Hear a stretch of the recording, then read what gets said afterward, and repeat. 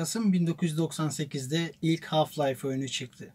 Half-Life özellikle ülkemizde multiplayer modlarıyla internet kafe kültürünün yaygınlaşmasında büyük rol oynadı. 2004 yılında ise Half-Life 2 geldi.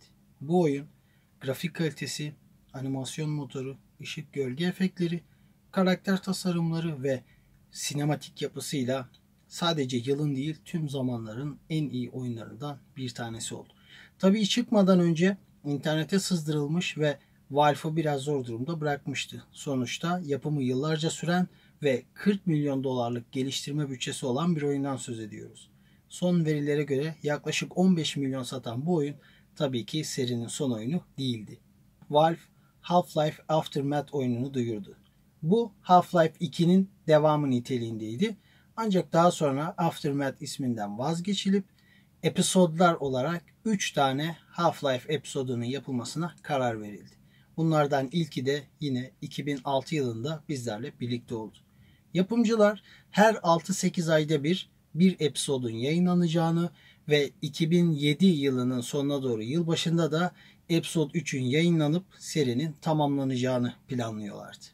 2008 yılına geldiğimizde hala Episode 3'den bir ses daha yoktu. Derken bir de Arkane Studios'un Ravenholm'e dönüş niteliğinde dördüncü episod üzerinde çalıştığına dair söylentiler çıkmıştı. Bu episodda Ravenholm'e yani o zombilerle dolu kasvetli ortama geri dönüp yepyeni maceralar yaşayacaktık. Ancak bu fikirden daha sonra vazgeçildi ve yıllar sonra yetkililer Episode 4'ü yaptıklarını ama iptal ettiklerini doğruladılar. Valve'un üst düzey yöneticilerinden Doug Lombardi 2008 yılının sonuna doğru belki de Half-Life 2 Episode 3 hakkında bilgiler verebiliriz diye konuşmuştu. Ama yeni bir bilgi gelmedi derken 2009 yılında yine gözler kulaklar Half-Life duyurusunda ve görüntüsündeyken Valve'dan yeni bir Left 4 Dead duyurusu geldi. Bu duyurunun ardından Left 4 Dead boykot grubu Steam'da faaliyete geçmiş oldu. Ve 2010 yılı yani Episode 2'nin çıkmasının ardından 3 yıl geçmişti. Bu kez Portal 2 duyurusu geldi. Bu duyurudan kısa süre sonra Gabe Newell Gordon Freeman hakkında konuştu.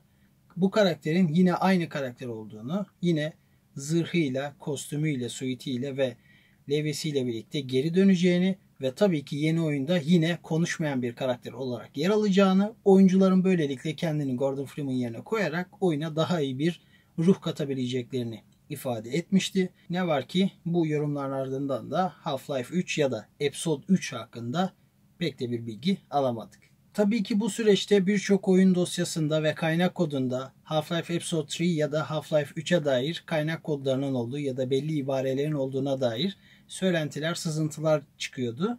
Ancak Valve bu konuda pek de bilgi vermiyordu. Derken 2011 yılında yine Doug Lombardi Gordon Freeman'ın daha yapacak çok şey olduğunu ve Half-Life'daki macerasının bitmediğini söyleyerek bir nevi serinin devam ettirileceğini söylüyordu. Yine bu esnada sıradaki Half-Life'a dair birkaç konsept görüntü de yine internette sızdırılmış bir şekilde yerini almıştı. Yine bu esnada Gabe Newell Half-Life serisindeki Dog ve Alex Vance gibi karakterlerin detaylarının daha iyi anlatılması için bu karakterlerle ilgili yeni çalışmalar yapılabileceğini de söylüyordu. Belki de Blue Shift'te olduğu gibi farklı bir Half-Life oyunu yine bizi karşılayabilirdi. Tabi bunlar sadece söylemde kaldı. O an için ve takvimler 11 ile 12 Ağustos 2011'i gösterdiğinde ise bazı Half-Life fanları Valve'ın ofisinin önüne giderek Half-Life 3 istiyoruz diye protestoya başladı. Gabe Newell oyuncuların yanına gitti. Onlarla sohbet etti. Birlikte yemek yediler ve hatta ofisi de gezdiler.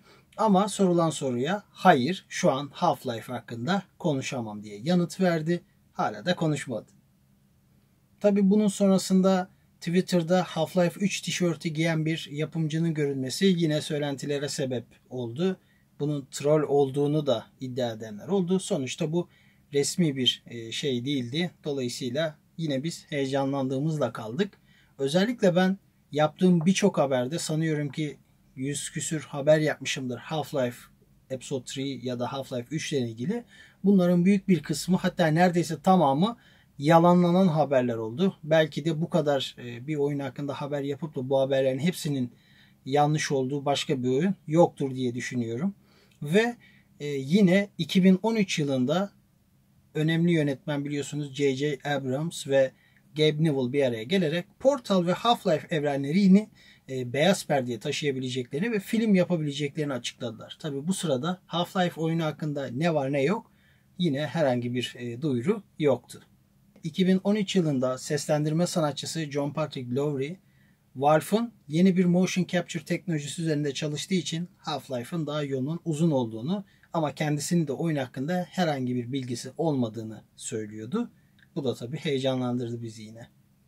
2015'e geldiğimizde ise Valve'dan Source 2 duyurusu geldi. Bu kez beklentiler yeni grafik motoru, yeni oyun motoruyla yeni bir Half-Life duyurusuydu. Öyle bir şey yine olmadı.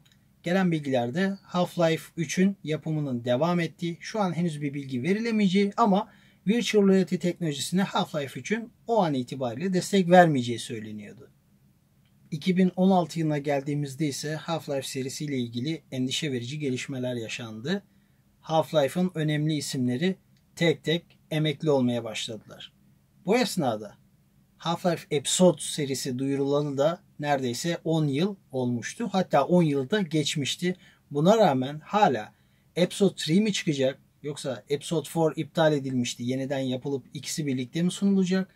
Yoksa yepyeni bir Half-Life oyunu mu yapılacak bilmiyoruz. Ama daha evvel söylendiği gibi Gordon Freeman'ın henüz Half-Life macerası bitmiş değil. Alex Vance dahil birçok karakterin detaylarının tekrar sunulması hatta daha evvel sunulmayan detayların sunulması gündemde. Öte yandan bu Episode serisinin sadece Half-Life 2'nin senaryosunu bitireceği, Half-Life evrenin senaryosuna o kadar da etki etmeyeceği, dolayısıyla anlatılacak daha çok şey olacağı yapımcılar ağzından birebir olarak açıklanmıştı. Dolayısıyla Half-Life serisi mutlaka dirilecektir bir şekilde. Şu an sessizliğini korusa da Valve ama ne zaman bu sessizlik bozulacak onu bilmiyoruz. En son 2004'te büyük ana oyun olarak Half-Life 2 çıkmıştı. Half-Life 2'nin birkaç ay öncesinde Ağustos'ta Doom 3 çıkmıştı. E şimdi 13 Mayıs'ta yeni Doom oyunu çıktı. Tamam arada biraz fazla bu sefer boşluk oldu ama yeni Doom'dan sonra sırada yeni bir Half-Life var diye düşünüyorum. Düşünüyoruz. Umuyoruz. Umuyoruz bu kez Valve 3 numaralı bir oyun yapar. Yani Left 4 Dead 2, Portal 2, Half-Life 2. Ama Half-Life 2'nin yanında iki tane de episode var. Eh bir tane daha gelirse çok mutlu olacağız. Sanıyorum. Gabe Newell ve John Carmack sesleniyorum buradan. Bir an evvel Half-Life 3 ve Doom 4'ü çıkarın.